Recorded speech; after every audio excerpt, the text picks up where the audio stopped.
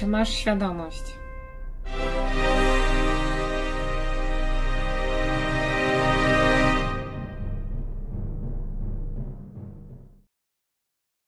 Żaden inny europejski kraj nie zdemontował, tak jak Polska, aż jednej czwartej swojej sieci kolejowej. Przez lata likwidowanie połączeń i linii kolejowych stało się ponadpartyjnym priorytetem, zgodnie realizowanym przez kolejnych ministrów, dyrektorów i prezesów polskich kolei państwowych. Dzień dobry Państwu, z tej strony Rafał Górski, kolejny odcinek podcastu Czy masz świadomość w ramach tygodnika spraw obywatelskich. Przeczytałem fragment książki e, Ostre cięcie, jak niszczono polską kolej, a jej autora e, Karola Tramera mamy przyjemność gościć dzisiaj w podcaście. E, cześć Karol. Cześć.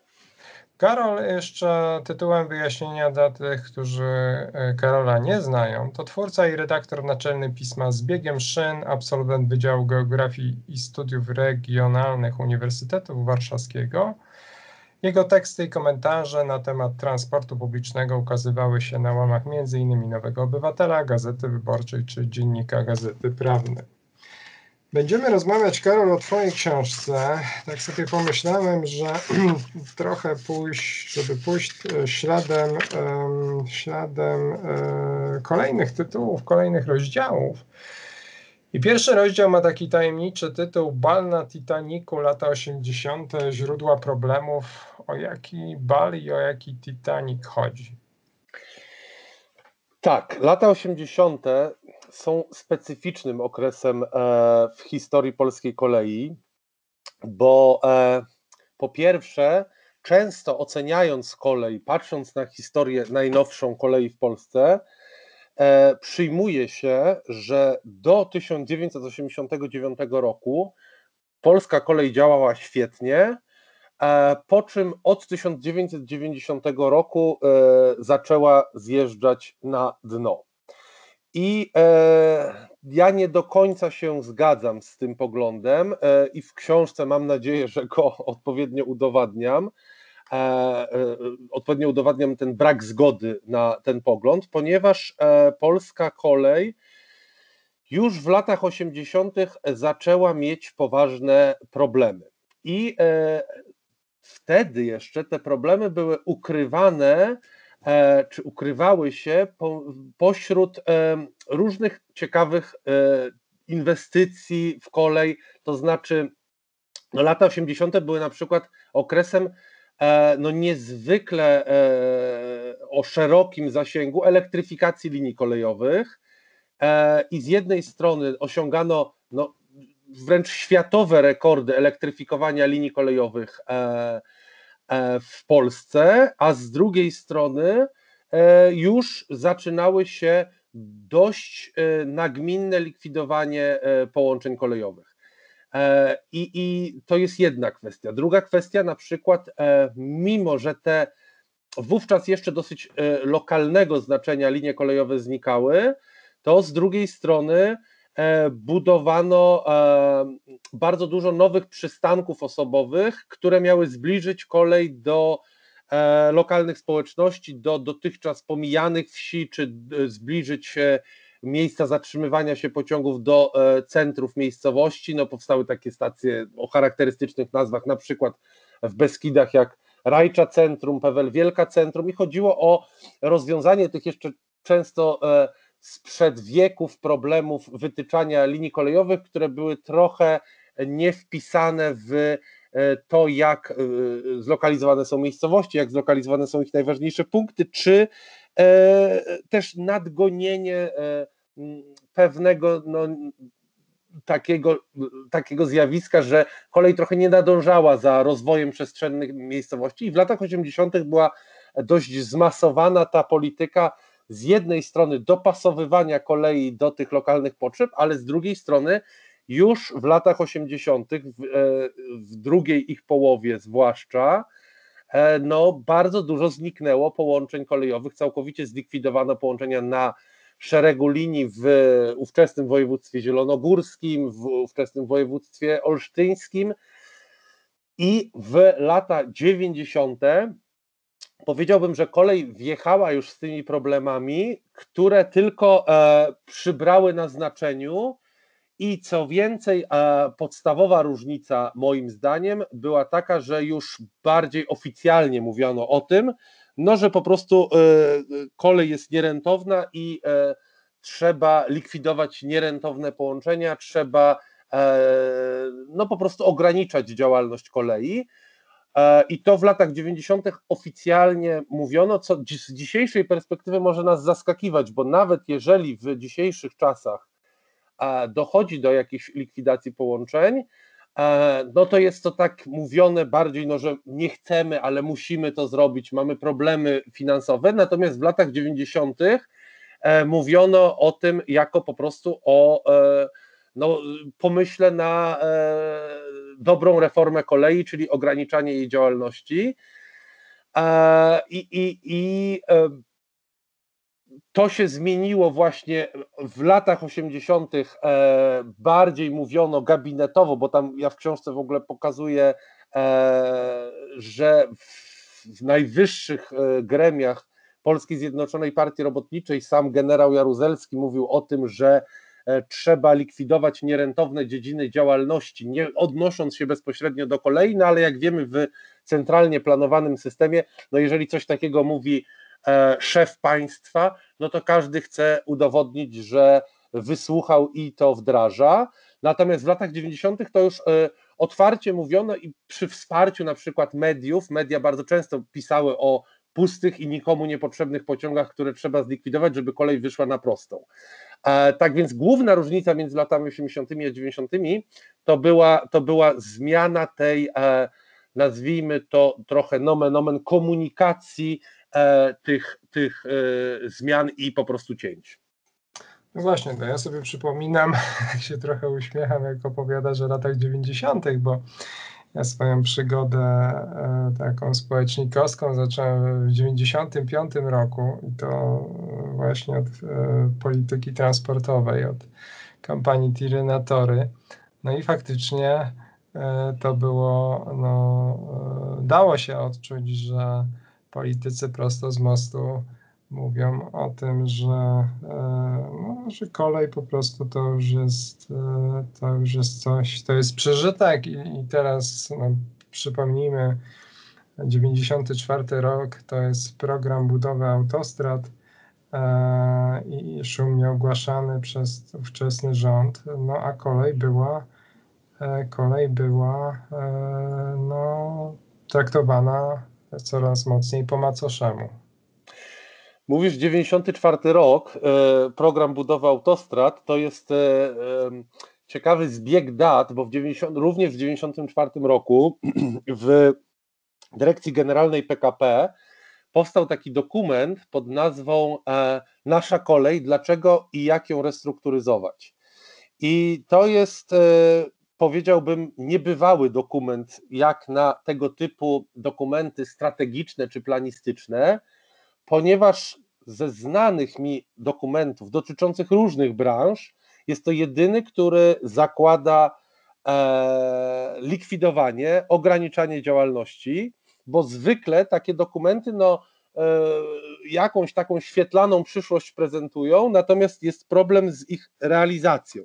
Natomiast e, ten dokument z 1994 roku no jasno mówił o tym, że e, e, kolej powinna e, znikać, nazwijmy to. Tam na przykład pada takie zdanie w tym dokumencie, należy wygaszać popyt na podróże koleją i przesuwać ten popyt na komunikację samochodową. No i co charakterystyczne, po pierwsze pada tutaj słowo wygaszanie popytu, które przez lata było traktowane jako teoria spisku, no a okazała się to praktyka spisku, jak ty lubisz mówić zresztą. E, to znaczy, e, wygaszanie popytu rzeczywiście miało miejsce zgodnie z tym dokumentem, i wygaszanie popytu polegało na tym, że e, stopniowo, trochę na zasadzie tak zwanego gotowania żaby, likwidowano na danej linii pojedyncze najpierw połączenia, najpierw wieczorne, potem międzyszczytowe, potem przesuwano pociąg dojeżdżający na ósmą, dowożący uczniów na ósmą, tak żeby dojeżdżał po ósmej i poprzez takie stopniowe działania, kiedy już dochodziło do likwidacji połączenia, to wiele osób już w międzyczasie e, znalazło sobie inny środek transportu. Albo prywatny bus, albo używany samochód. No różne były decyzje e, ludzi, i w związku z tym, kiedy już dochodziło do likwidacji ostatecznej danego połączenia, problem ten dotyczył wyłącznie e, ludzi o, że tak powiem, ograniczonych kompetencjach społecznych, przez co nie wiedzieli, do kogo się zwrócić, jak skutecznie walczyć z tą decyzją E, I to był, to był właśnie element tego wygaszania popytu, które z jednej strony miało zniechęcić ludzi do korzystania z e, kolei, zwłaszcza lokalnej i regionalnej, ale bardzo szybko to zaczęło przechodzić na linię coraz większego znaczenia, e, problem likwidacji, a z drugiej strony właśnie sprowadzić ten problem już w tym ostatecznym momencie do problemu niewielkiej grupy osób, która, która no po prostu e, nie bardzo była w stanie podjąć działania na rzecz, na rzecz walki i e, ochrony połączenia kolejowego w danej swojej miejscowości. A dlaczego Twoim zdaniem tak się działo? Kto za tym stał i jakie miał motywacje?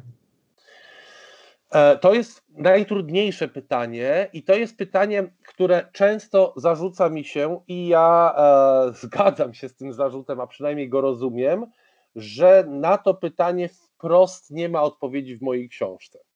E, rzeczywiście nie jestem w stanie ani powiedzieć, kto właściwie o tym zdecydował, e, co wpłynęło na taką sytuację, że podjęto decyzję no, taką strategiczną, bo możemy podać nazwisko czy dyrektora generalnego PKP z danych lat, czy ministra e, transportu e, z danego okresu, kiedy znikały konkretne linie kolejowe, ale wtedy nie znajdziemy odpowiedzi na specyficzne pytanie, kto zdecydował e, jako no, pierwszy, jako ten, który nadał cały ten kierunek, no bo wtedy znajdziemy odpowiedzi, że zarówno e, ministrowie, jak i dyrektorzy powołani przez e, Solidarność, przez e, SLD, wszyscy dzielnie i zgodnie prowadzili tą politykę likwidacyjną, co nawiasem mówiąc dzisiaj jest trochę śmieszne, że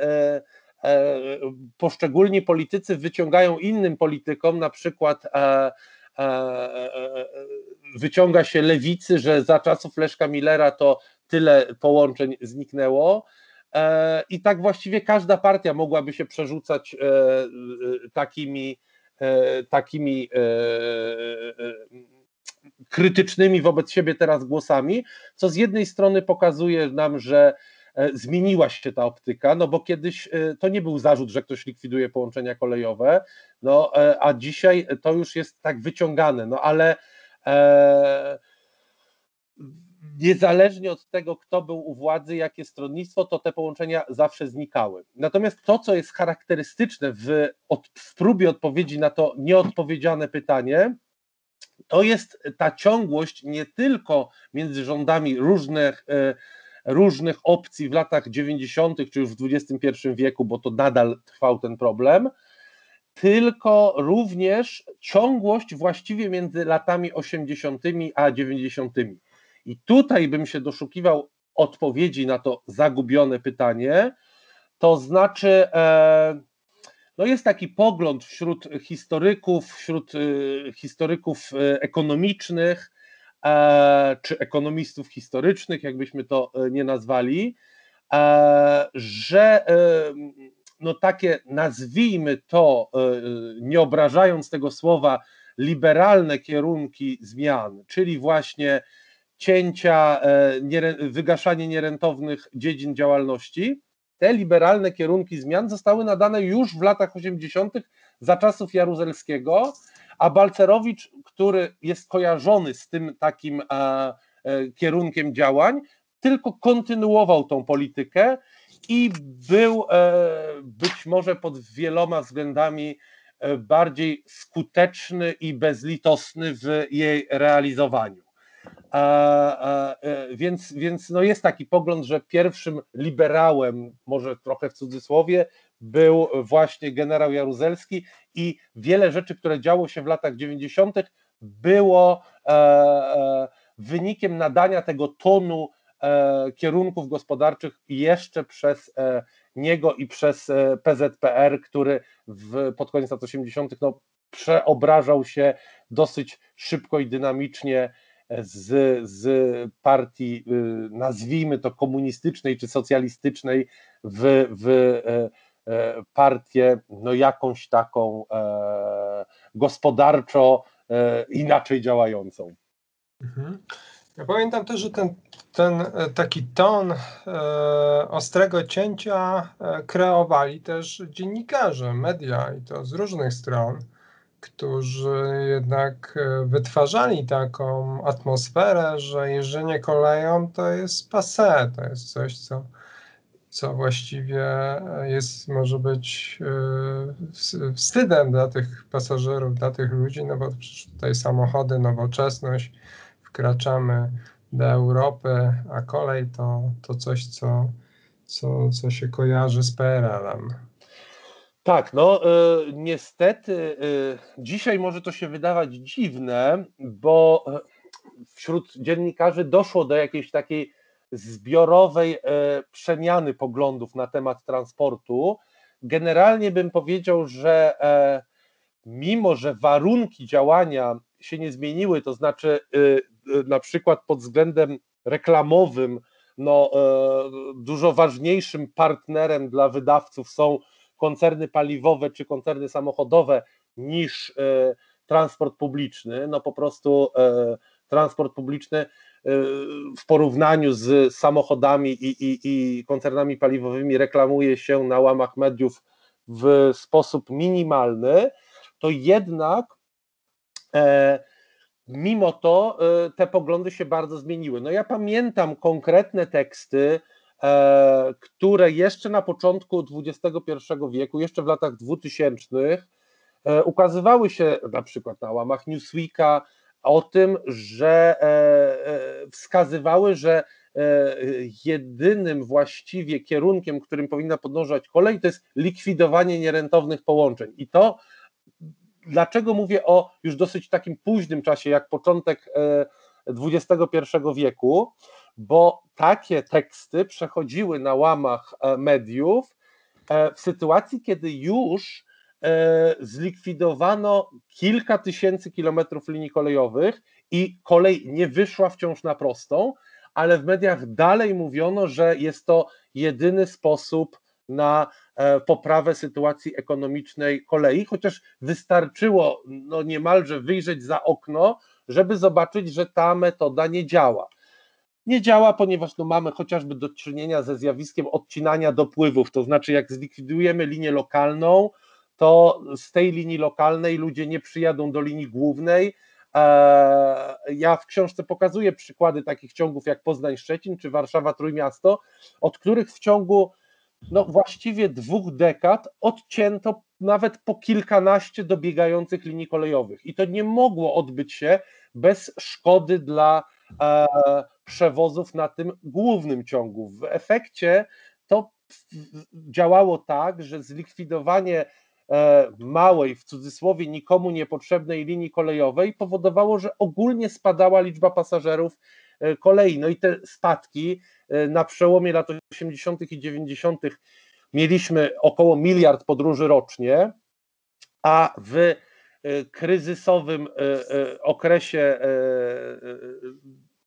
5 lat po wprowadzeniu ustawy o restrukturyzacji kolei E, mieliśmy no właściwie zejście do poziomu na czwartej tego wyniku, no czyli trzy czwarte pasażerów odpłynęło e, właśnie poprzez likwidację tych, tych e, nikomu niepotrzebnych linii kolejowych.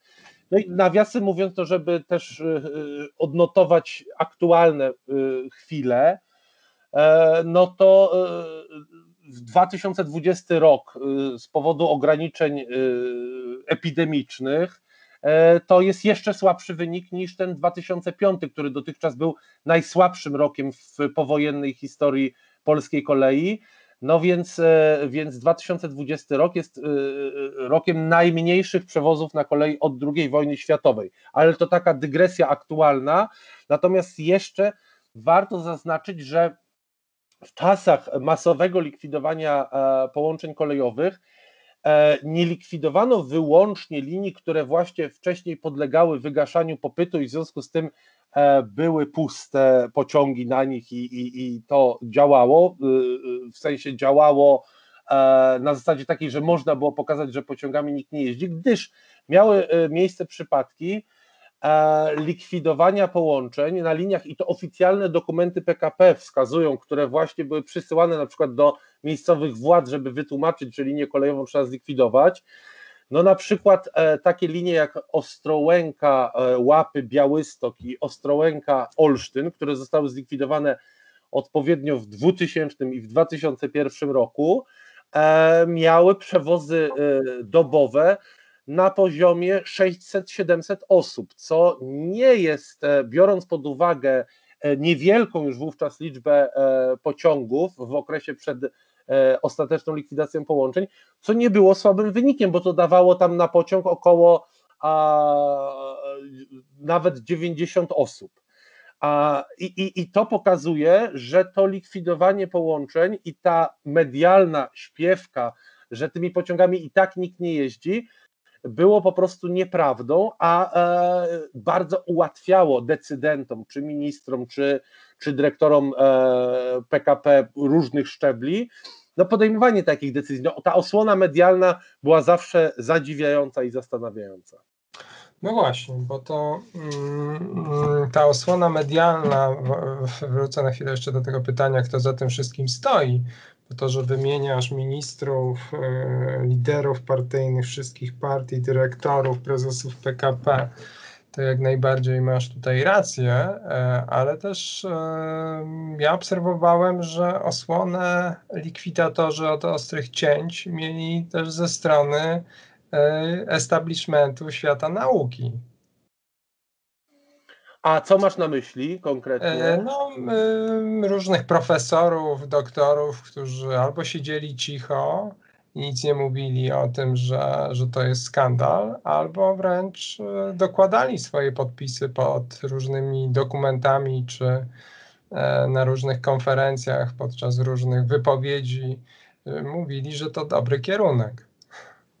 No tak, no rzeczywiście ja mogę powiedzieć trochę w drugą stronę, to znaczy, że rzeczywiście e, w świecie nauki, e, czy szerzej w świecie no takim zaplecza intelektualnego doradztwa, były też głosy, które w tych najtrudniejszych czasach mówiły, że to e, wywołuje konkretne problemy społeczne.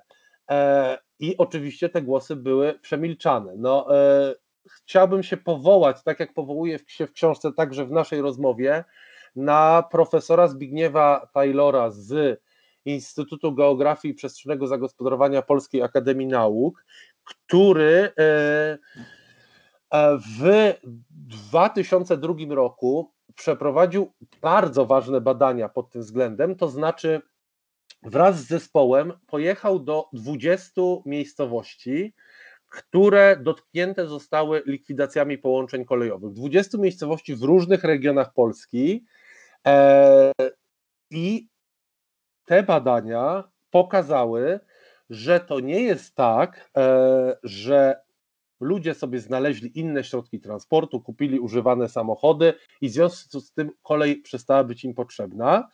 Te badania pokazały e, takie zjawiska jak na przykład fakt, że ludzie musieli zrezygnować, czyli wypowiedzieć umowę o pracę i stać się bezrobotnymi, bo po likwidacji połączenia kolejowego stracili możliwość dojazdu i powrotu z pracy. I to były konkretne e, przykłady miejscowości e, na zlikwidowanych liniach kolejowych. Takie miejscowości tam na przykład były jak Przybroda na zlikwidowanej linii z Poznania do Międzychodu czy Olbrachtowice na zlikwidowanej linii z Wrocławia do Świdnicy. Co więcej, badania profesora Taylora pokazały również takie zjawiska, że z powodu zlikwidowania połączeń kolejowych osoby y, starsze i osoby chore na e, choroby przewlekłe e, przestały dojeżdżać do specjalistycznych ośrodków medycznych w większych miastach, a sprowadziły swoją e, terapię do lokalnego ośrodka zdrowia. I jeszcze dwa takie, takie zjawiska, o których w ogóle w mediach wtedy milczano, to znaczy mm, młodzież e, po likwidacji połączenia kolejowego zaczęła wybierać gorsze szkoły bliżej, zamiast dojeżdżać do lepszych szkół, bardziej oddalonych, do których właśnie komunikacja kolejowa umożliwiała im e, możliwość e, dojazdu. I jeszcze wątek bardziej taki z zakresu loko, e, lokalnej bazy gospodarczej czy ekonomii lokalnej, to znaczy po likwidacji połączeń kolejowych takie miasta małe, na, leżące na e, zlikwidowanych liniach kolejowych, czy, czy miasta, do których dobiegały zlikwidowane linie kolejowe, takie jak Korsze, Więcborg, Żabno, straciły na znaczeniu zakupy dokonywane w tych miastach, bo ludzie przestali dojeżdżać pociągiem na zakupy i e, no, poważnie naruszyło to lokalną bazę ekonomiczną e, takich miejscowości. No i to były wątki, które wyszły po prostu z wnikliwie przeprowadzonych badań e, polegających na rozmowie z i zadawaniu konkretnych pytań mieszkańcom e, tychże 20 miejscowości rozsianych po całej Polsce. I badania profesora Taylora, które powinny w czasach masowych likwidacji połączeń kolejowych wywołać sensację, powinny być e, no, na ustach dziennikarzy, polityków, właściwie zostały e, przemilczane. No a był to, powiedziałbym, jeden z najważniejszych i najbardziej dramatycznych głosów, który mówił, ta polityka prowadzi do wyjaławiania e, Polski lokalnej, coś, z czym obudziliśmy się ze świadomością, że to nastąpiło, no jak już było e, za późno. Y, coś to pokazało, że transport publiczny jest istotnym czynnikiem e, tego, że nawet jeżeli w danej miejscowości nie ma pracy, nie ma dobrej szkoły, nie ma dostępu do lekarza, a jak wiadomo, nie da się zrobić, żeby w każdej miejscowości te elementy były, to transport publiczny jest w stanie e, zaspokoić ludziom e, możliwość i konieczność korzystania z tych, e, z tych usług publicznych i z dostępu do pracy. No a bez transportu publicznego, no właśnie dochodzi do przede wszystkim głównym problemem, który jest odczuwalny dla samorządowców, to jest wyprowadzanie się ludzi na dobre z takich e, miejscowości, bo brak dobrego dojazdu do większego miasta powoduje, że ludzie chcą ostatecznie uciec do tego większego miasta, e, no co kończy się też kolejnym e, podkopaniem lokalnej bazy ekonomicznej, czyli utratą wpływów podatkowych z, z tego udziału lokalnego w picie czy cicie. Czy masz świadomość? Dostarczamy Ci treści bez cenzury i bez reklam. Potrzebujemy Twojego wsparcia. Dorzuć się do mediów obywatelskich. Wpłać darowiznę. Link do wpłat znajdziesz w opisie do podcastu. Słuchaj, myśl, działaj. Który to był rok te badania? Te badania zostały przeprowadzone w 2002 roku i to był, e, nazwijmy to, nieprzypadkowy rok, bo to było e, dwa lata po E, największym, największej likwidacji połączeń, czyli w 2000 roku mieliśmy takie dwie fale likwidacji połączeń. Pamiętnego 3 kwietnia 2000 zlikwidowano połączenia na 1028 km linii kolejowych. Jednego dnia to nastąpiło, i potem jeszcze w czerwcu, pod koniec roku szkolnego, kolejne 678 km linii zostało pozbawionych połączeń. I te badania profesora Taylora były przeprowadzone dwa lata później, właśnie głównie w tych miejscowościach, które w tamtych falach e, utraciły swoje połączenia kolejowe. No właśnie, to ja teraz przy, przy, otworzę fragment e, wypowiedzi Andrzeja Celińskiego, który... E, Podejrzewam, że Krzysztofa Celińskiego. E, nie, zaraz, zaraz, zaraz. E, nie, Andrzeja, Andrzeja. Okej, okay, bo jeszcze na kolei był słynny Krzysztof Celiński. Tak, tak, tak, tak, ale nie, to chodzi o tego polityka. Ciekawa mhm. historia, e, przeczytam fragment. 23 grudnia 1989 roku spotkaliśmy się po raz pierwszy w, stanie, w starej grupie przyjaciół doradców. Był tam też premier Tadeusz Mazowiecki, ministrowie nowego rządu. I Tadeusz Kowalik w pewnym momencie z pewnego rodzaju wściekłością zapytał się Tadeusza Mazowieckiego: Czy wy zadaliście sobie pytanie, czy rozwijać transport publiczny, czy nie? Czy w ogóle tego pytania nie było? Wszyscy w oczy, oczy, wszyscy w oczy w słup postawili, a on rozwija swoją myśl i mówi dalej.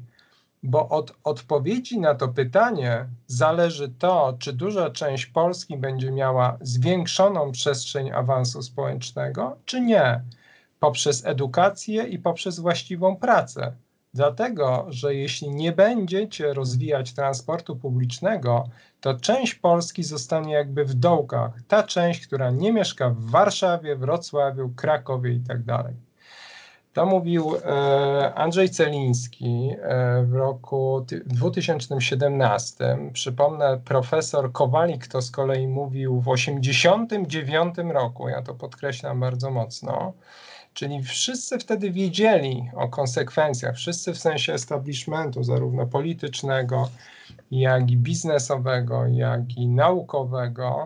E, no ale zadziało się to, co się zadziało.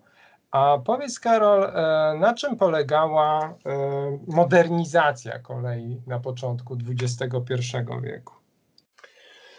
Tak, no ta wypowiedź, którą przytoczyłeś, y, to jest dla mnie nowość. Ja o tym nie słyszałem. E, no jestem pod wrażeniem po pierwsze tego, że e, y, profesor Kowalik w 1989 roku no, nazwał rzeczy po imieniu, ale chyba pod jeszcze większym wrażeniem jestem tego, że e, Tadeusz Mazowiecki i inni, inni politycy, którzy przejmowali wtedy odpowiedzialność za kraj, no jakby puścili to mimo uszu e, ostatecznie.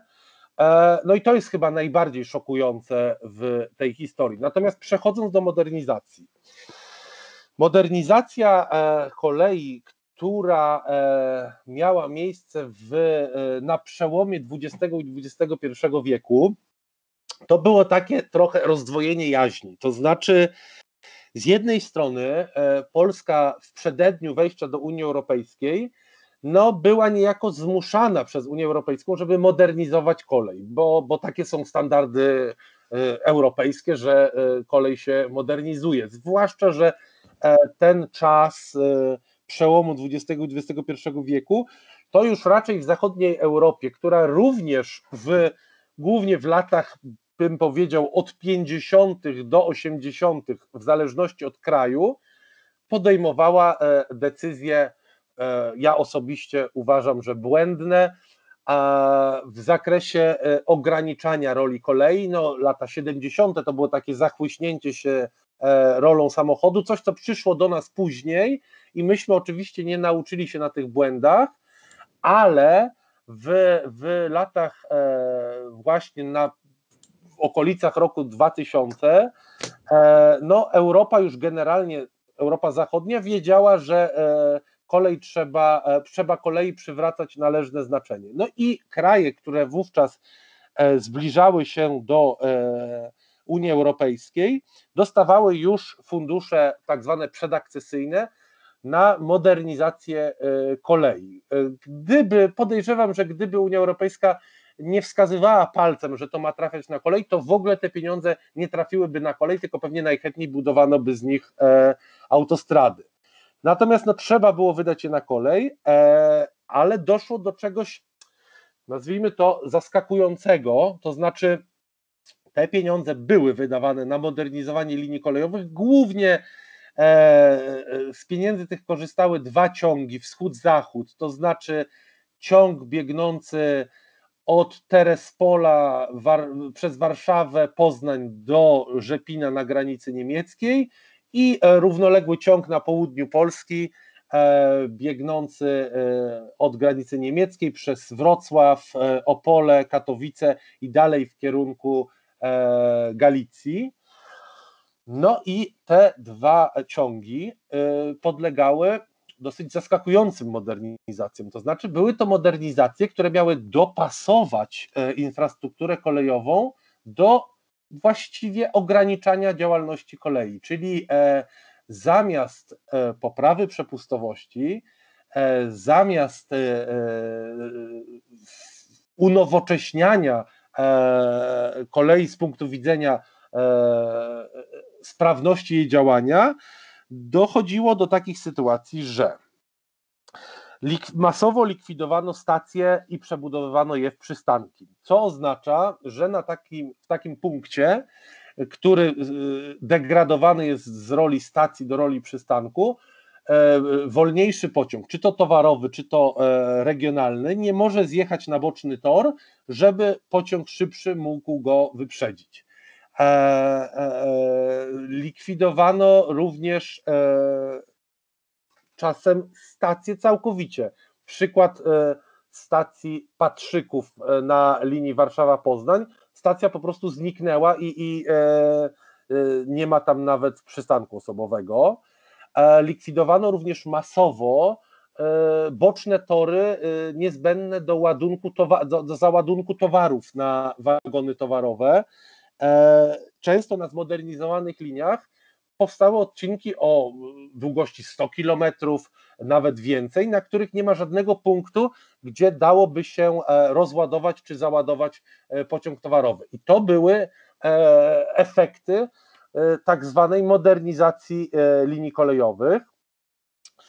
I o ile te lata pierwszych tych modernizacji, które po prostu były głównie miały na celu oszczędności i, e, e, i spowodowanie, żeby kolej miała jak najmniej infrastruktury, jak najmniej. Celem było po prostu, żeby ta kolej mniej kosztowała, a nie to, żeby dobrze działała. No i w efekcie powstały problemy z przepustowością na tych zmodernizowanych liniach kolejowych, e, czy na wylocie z Warszawy w, na wschód, czy na zachód. No okazało się, że te linie bardzo szybko wyczerpują wyczerpują możliwości i nie są w stanie przyjąć wszystkich pociągów, które nawet chcieliby uruchomić przewoźnicy, zwłaszcza w dobie po, pewnych, po pewnym czasie e, no jakiegoś takiego re, początku renesansu kolei. Okazało się, że te linie nie są przystosowane do rozwoju e, połączeń, do rozwoju oferty, tylko e, zatrzymują kolej na pewnym niskim poziomie i, i nie pozwalają na, na rozszerzanie rozszerzanie jej oferty, rozszerzanie liczby połączeń e, i tak dalej, i tak dalej. I co gorsza, ta polityka bardzo jeszcze przez wiele lat e, działała. Teraz możemy powiedzieć, że następują jakieś zmiany takie e, w myśleniu osób odpowiedzialnych za sieć kolejową i za jej modernizację, ale niedawno skończone, czy właśnie dobiegające końca modernizacje, co wynika również z rozłożonego na lata procesu planowania modernizacji linii kolejowych, to mamy przykład, wkrótce zakończona zostanie wreszcie bardzo opóźniona i wiele lat trwająca modernizacja linii z Warszawy do Radomia, no i tam też mamy problem taki, że prawdopodobnie e, spotkamy się z problemami z przepustowością. e, ze względu właśnie na zbyt małą liczbę stacji, na których e, pociąg szybszy może wyprzedzić pociąg wolniejszy. To samo stało się na niedawno zakończonej modernizacji linii Warszawa-Lublin, też kilka stacji zostało zdegradowanych.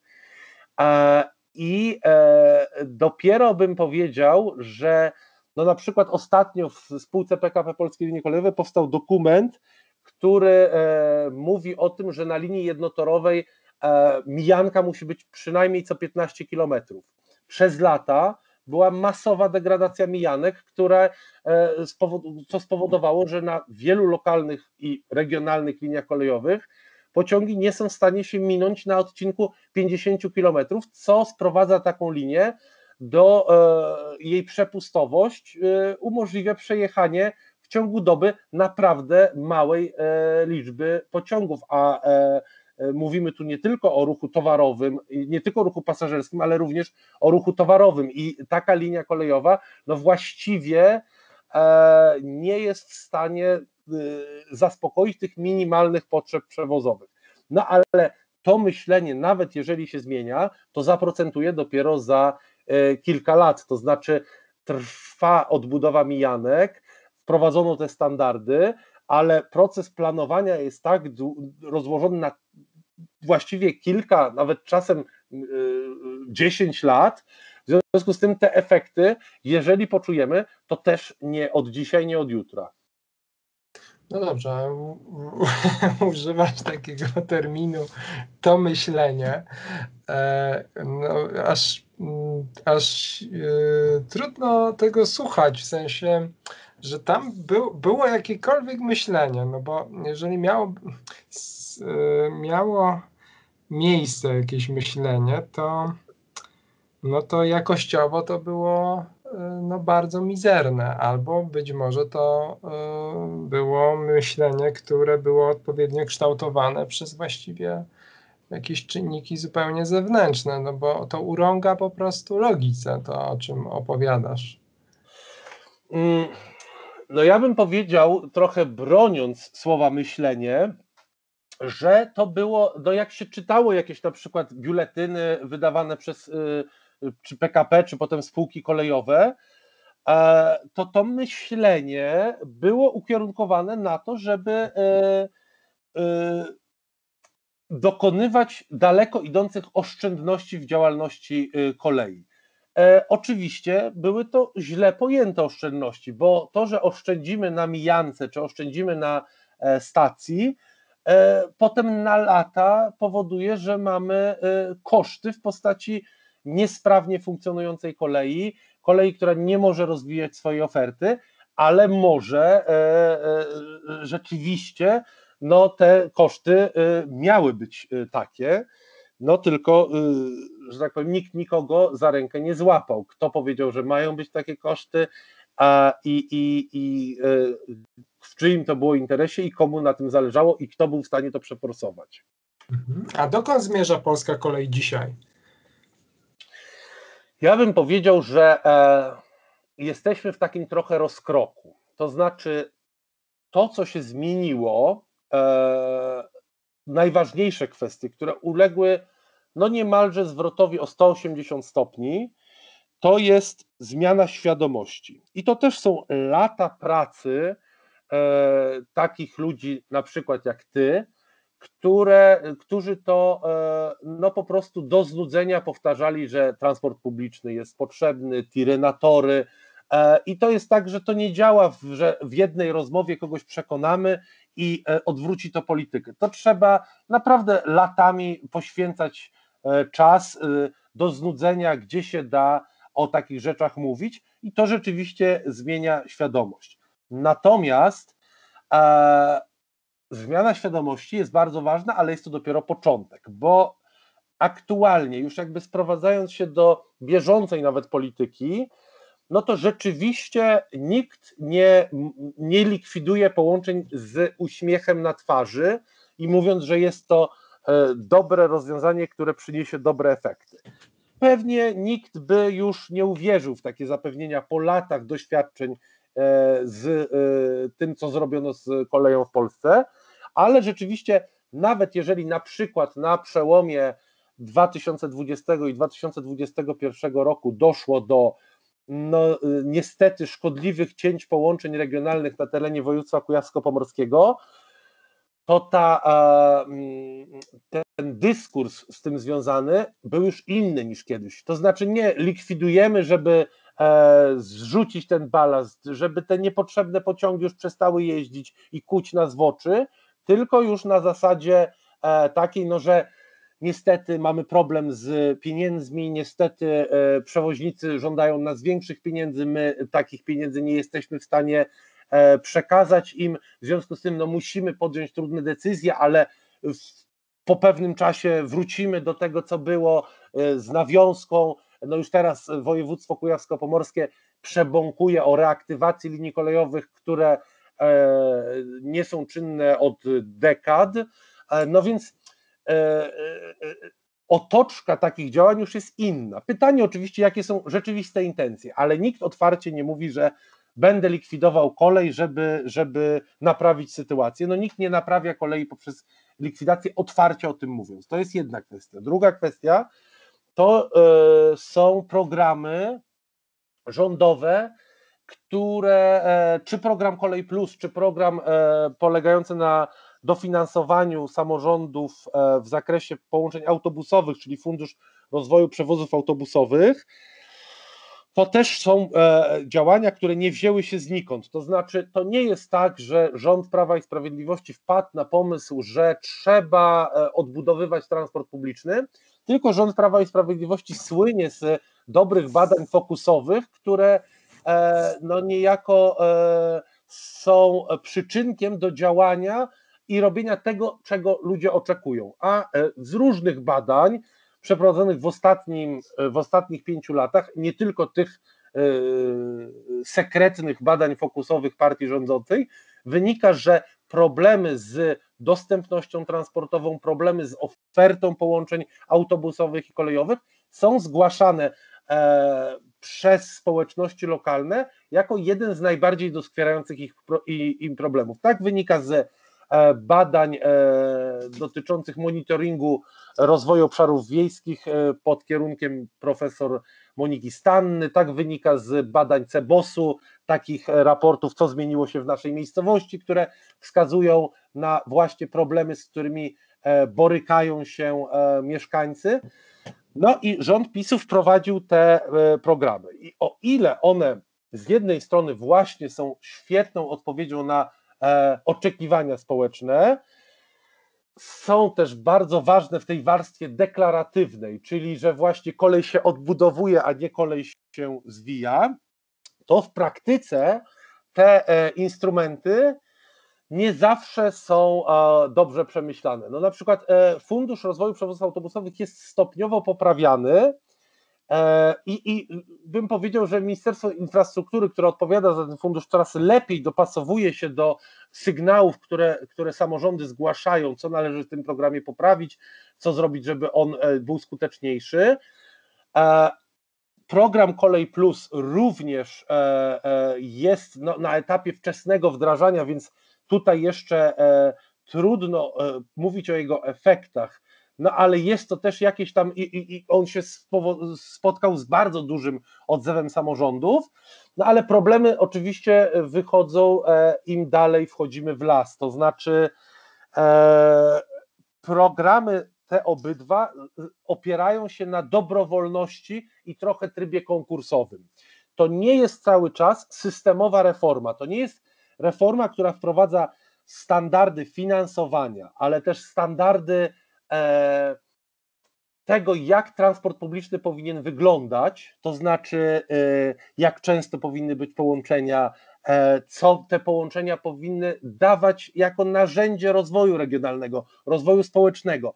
O takich rzeczach się nie myśli, a potrzebujemy takiego właśnie systemowego działania. A te dotychczasowe rządowe programy, które owszem są kierunkiem w dobrą stronę, to niestety tej cały czas systemowej zmiany e, nie wprowadzają. No na przykład taki mm, jeden wyimek, no bo też nie ma czasu, żeby mówić o tym wszystkim, z programu Kolej Plus. Program Kolej Plus wymaga od y, samorządu, żeby na linii przywróconej do życia w ramach programu Kolej Plus, to przywrócenie do życia to też nastąpi pewnie w perspektywie kilku lat dopiero pierwsze w ramach programu Kolej Plus, bo on też jest bardzo, że tak powiem, leniwie realizowany i tak naprawdę będzie realizowany w następnej kadencji e, i samorządu, i parlamentu, co też ma różne nieoczekiwane e, zagrożenia są z tym związane, ale no bo też nie wiadomo na ile, na ile samorządowcy na przykład będą chcieli kontynuować ten program, wiedząc, że mogą się przysłużyć już następcom, konkurentom i tak dalej, ale to są inne wątki. Ale ten jeden wyimek, który pokazuje nam, na jakim my jesteśmy etapie, to jest określenie w programie Kolej Plus, że minimalna liczba połączeń na linii przywróconej w ramach programu Kolej Plus to są cztery pary połączeń dziennie. Cztery pary, czyli cztery pociągi w jedną stronę i cztery pociągi w drugą stronę.